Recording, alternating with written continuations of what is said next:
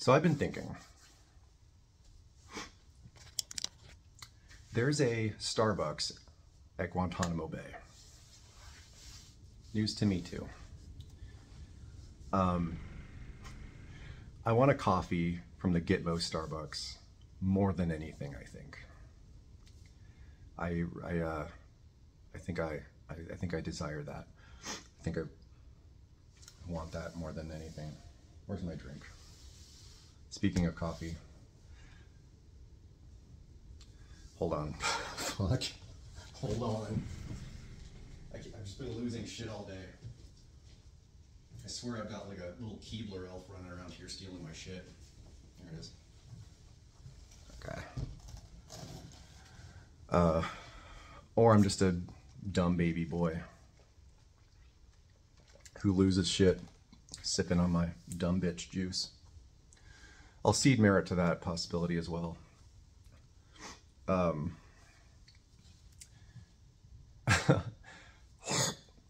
excuse me. Got acid reflux today. I don't know if I should be doing this. But I kind of want to tell this story, but not really. Um, so yeah, uh, story time and coffee time. What's poppin', squad? So I never know what to name a fucking video if you couldn't like tell by now if that hasn't been made apparent. Um, I try not to dwell too long and I'll just kind of string a few things I instantly think of together most of the time. And another weird thing that I do is when it comes to these types of videos where uh, where it's just me talking, I, I record a video, or excuse me, let me back up. I don't record a video and then name it. I, and then upload it. I name it first, actually. I don't know why. Um, I don't know, like, I, I kind of feel like it helps me start somewhere when recording or something. But, um, but I'll do that. I'll, uh, I'll write something random down, uh, like lyrics or something stupid I heard recently somewhere, or I don't know, like an amalgamation of random words or an abstract thought that I might have pop into my ADHD addle brain. Um, and this is like usually right before I hit record. Um, yeah, usually like beginning something is usually the hardest part. Um, like the hardest part for me um, when it comes to like just about anything, I was going to say like a creative endeavor, but really just anything. I never know where to start. Um, so perhaps I do it just to get the ball rolling or something. Um, I'll get anxious that I'm about to hit record and start a creative endeavor without much but kind of an idea of what I want to say. And that's it. So this is, it might be like me kind of telling myself like, okay, Kurt, start somewhere, name it. Um, and then I just don't feel as empty handed going into it. I don't know. And I guess I had masturbation on the brain right at the moment I threw out the fishing line into the shallow lake of my own head. I guess that that's just that was just my lottery number today. Dicks.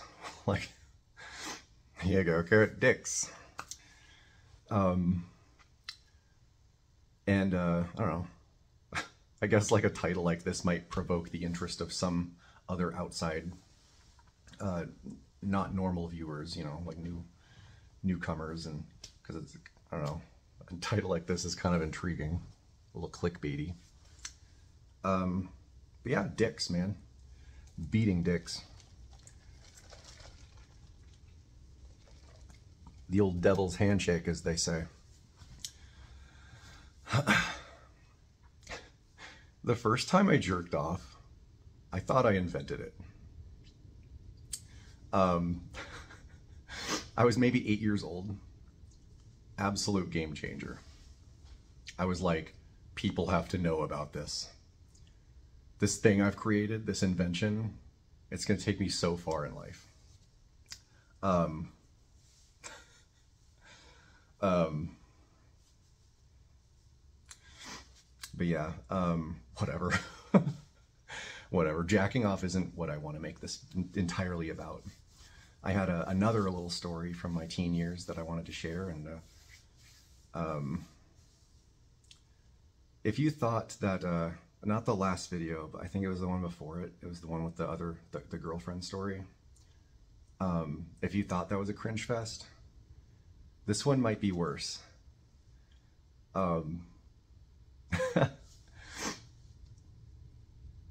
and uh, no, it's not a masturbation story. As I said, I, I, I want to move away from the masturbation topic. Um, I know I'm building it up to be like this teen, this teen masturbation story. Like I, I said just now, like, yeah, it's a story for my teens, and the name of this thing is called like, but um,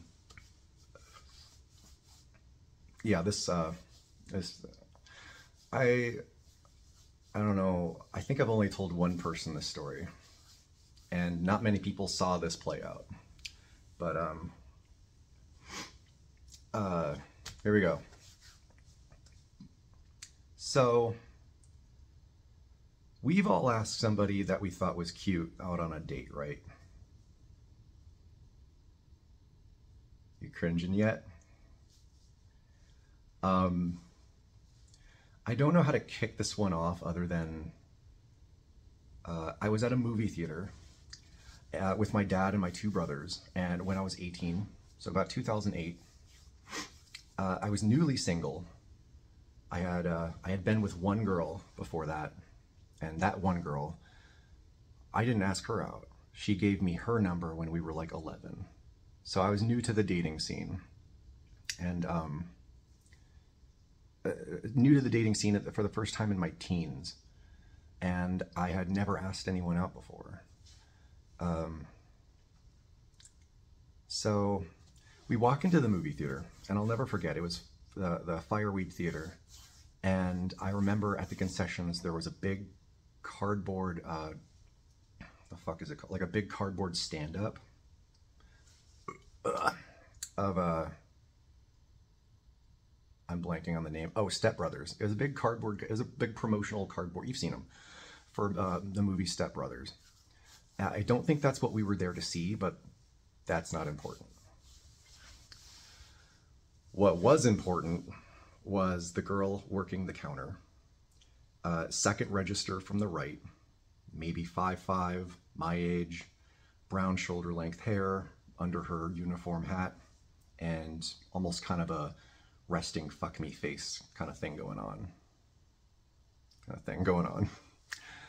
Uh, that's what was important this, this girl. She's our uh, our uh, like a focal point of our story here. So now, um, I didn't talk to her when we went up to the counter. In fact, it was um, it was my dad buying the shit up front. And uh, again, I was essentially brand new to this.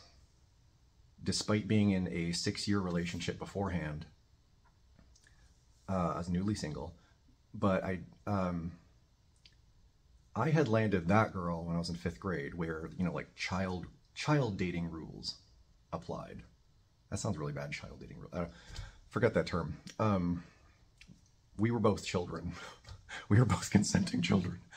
Um, but you know what I mean? Like like when you're a kid, when you're like in elementary school or even junior high, like dating is just kind of like relegated to just like holding hands and getting like like like fluttering eyelashes and maybe like writing notes and stuff and um, maybe like a little bit of drama surrounding it in, in schools. But um, but I didn't fully, you know, like I'm 18 now, and I didn't fully know. Uh, I'm I'm now 18 at this point in my life, right? And I didn't fully know like the rules of the game at this new stage in life. But um, so I was just really, I was just going into it blind, man. Um, but yeah, my dad uh, was buying tickets and shit up front, and we, we go find our movie. But man, I still have neck pain to this day from uh, looking back at her workstation as I followed them. Um, and at some point during the movie, I'm fucking around with my little box of candy, like the, the, the box that my candy came in. Um, I'm tearing it up a little bit in my lap and I'm like cutting off pieces. I'm just like, it's, it's turning into confetti in my lap. And, um, sorry, it's bothering me. I don't know what it wants to do. Um, yeah, I'm tearing this this this uh, cardboard candy wrapper in my lap up, and I get this idea. Um, I pull out a pen that I had on me, and I write my cell number on a part of the paper, cardboard, or whatever, and I get up to go to the lobby. And I'm just gonna go for it, right? I've never done this. Um,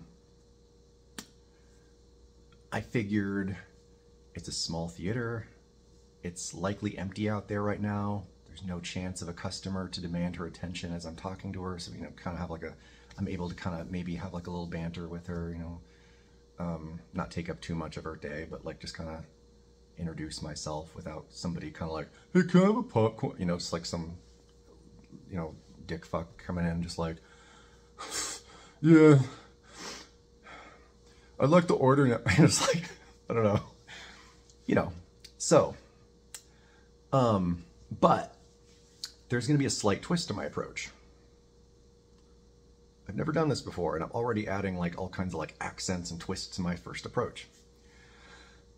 And a twist to my approach that will set me apart from all the other guys she met that like that must be talking to her you know that she you know i'm probably not the only guy that's like oh you know i'm probably not the only one my age. I'm probably not the only 18 year old that's come in and just like hey baby or whatever. Um because uh, you know she's really pretty. And i can only assume i can only assume that she can't remember every guy she turns down. I'm making a lot of assumptions here but i'm kind of going kind of going into this thinking that the deck is stacked against me, so I'm going in thinking like I'll stand out. Um, so I'm in the lobby. so I'm in the lobby. She's still there, and sure enough, um, it's pretty chill out here. She's helping like the only customer out there, and I get in line behind them. Uh, despite being there, despite there being another station open, and their line has no one. Um, I, I got into that line actually thinking um, that the other cashier would know, like flag me down uh, over to their station, but I guess it didn't happen. Uh, not that that would deter me from leaving the spot in the line if they had asked me to come over. Um, so the person in front of me leaves, and suddenly I've got about 10 open, uninterrupted feet between her, me and this girl. And all I've got to do is take four steps and talk to her. I've been holding this, uh, I've been holding the cardboard with my number this whole time. And I check it. It isn't smudged or anything. Good.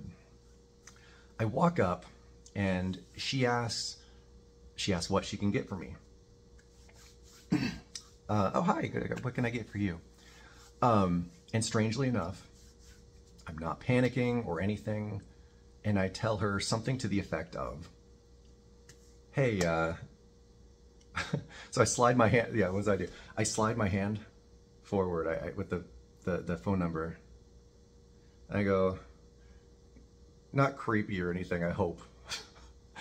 this is like half my life ago. Maybe, I don't know, I really hope. So I go, uh, put my the number on the on the table, on the counter. I go, uh, hey, uh, odd request. Uh, could you uh, throw this away for me? You know, I didn't give like a, I didn't like accent it with like a, you know, like any kind of a, any kind of like weird showmanship. I didn't wink. I didn't like, hey, you know, I didn't like, you know, Um, I felt like what I was doing was enough, and I didn't need to like be weird about it. Um, I lay down the piece of cardboard on the counter, face up, and you can see my phone number written on, written on it in large font. There's absolutely no way and fuck my intent is going under her radar. Um, the intent in my tone, my relaxed body language as I deliberately and carefully set down my largely written phone number right in front of her. Um, my friendly, I, I, I'm, I'm friendly. I'm trying to relax and be as normal as possible. Uh, given my, my it's my first time doing this, and I'm not I'm not here to creep anybody out. You know, she says no. You know, she looks at it, goes, you know, um, you know, it would have sucked, but I, I would have accepted it. Um, uh, I, I'm looking, smiling, but not like bug eyes and some big smile. Can you throw this away from me? you know? But yeah, like I'm. I, mean, I know I'm deviating slightly from the normal method of giving a girl my number, but I'm spelling this out so hard. My number's just right there. And I have the odd request of like, hey, can you throw this away? I'm not buying anything. I'm just like, you know. Um, so she glances at it, still smiling. Uh, she doesn't look at it long. and her eyes just kind of dart at it really fast. And then they come back at me uh, to meet my eyes. And it didn't even look like she really even looked at it at all. But just kind of like, you know, like head motioned at it. Like it was really fast. She looked slightly confused at, as to why I'd get in line at the concessions, like I said, just to use the trash, just use the trash can back there when there's trash cans all over the fucking place. You know, by the by the arcade, by the entrance, right when you walk in, by the down the hall, with the the theaters. Um, fucking trash is every trash cans everywhere, and she's just like, okay. Um, so yeah. Uh, actually, you know what I'm going to do? I'm going to stop this deep analysis of the transaction. Hold on. I'm going to stop this deep analysis of the transaction and with you knowing all you know now, I'm going to let this play out in real time for you.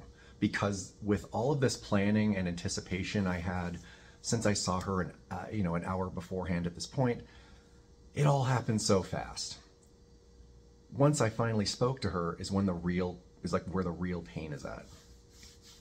And just how how the final verdict of all this just blurred right past me. It was like a car crash. I just couldn't do anything. It just happened. All right. To recap, and we're is with no like with no like ana- uh, analytical breakdown. It's just in real time. Here's what happened. All right. So dumb fuck in front of me uh, is gone. I walk up to this girl at the counter and I, uh, I, I can feel myself smiling a little bashfully, but I'm confident.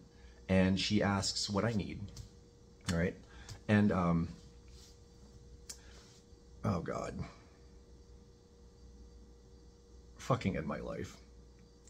She asks what I need, and I very deliberately set down my phone number on the counter. And uh, the number facing uh, upwards towards her, and with a friendly face, I, I tell her, "Yeah, uh, could you uh, could you throw this away for me?" And my eyes, my eyes right on hers. She uh, she glances down, and looks at it real fast, then looks back at me, and with almost no hesitation, she picks it up. She picks it up. she picks it up balls it up and goes, oh, sure. Still smiling, makes a half turn to uh, the trash bin behind her really fast. And uh, then realigns, uh, realigns herself to face back towards me. And in the same in the same joyful tone as she had that whole time, looks and, and asks, uh, was there anything else? This happened so fast. I didn't have time to like, no, you know, I didn't have. So I just kind of froze. Uh, the, this might have been my face. Um, and I was like quickly trying to like calibrate like what went wrong on whose end to and like where to go from here.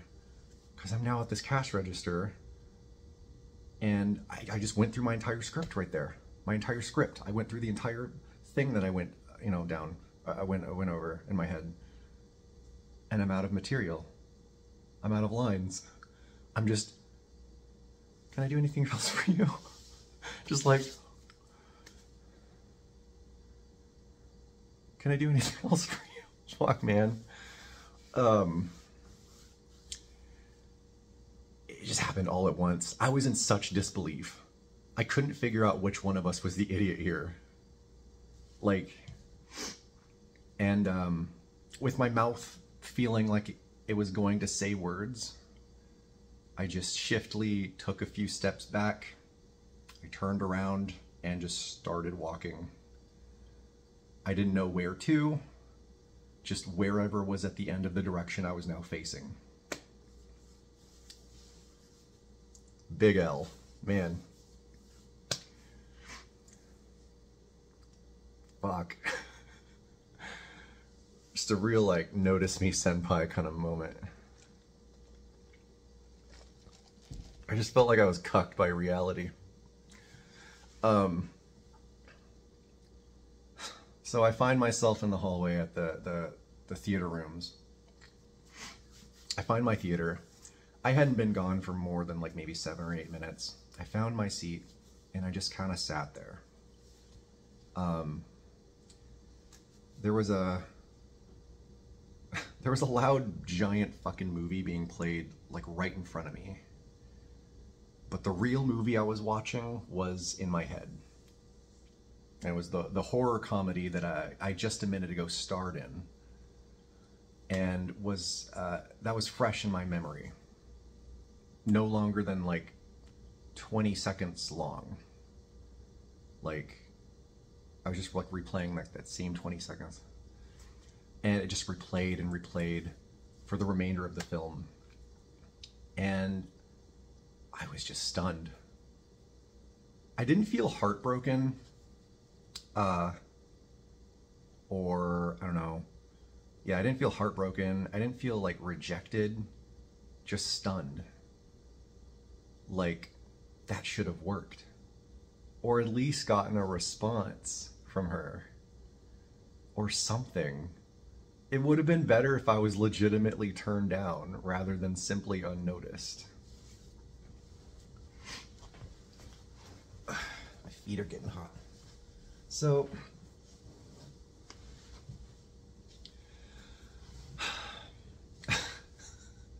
it would have been better if I was just like turned down, you know? I'm not interested. Because with failure, how do I say this? Because with failure, there would have at least been the opportunity to maybe reflect and learn about what I might have done wrong. Whereas this, it might as well have just never happened. And I couldn't even make myself known. Uh, like, fuck. You know, like, 18 year old me didn't have anything to work off of. Like, did I say something wrong? That wasn't made clear by the situation. Excuse me. Uh, like, did I make her uncomfortable even? No way of knowing. It was my first shot at this, and I couldn't determine my results and figure what I needed to change next time. You know, like I was still at square one. I didn't know what to change for my, you know, the second time I asked a girl out. Um, I don't know, man.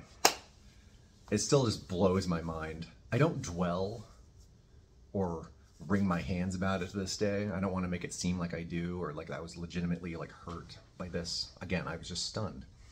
Um, or that I pity myself over. In fact, I never have.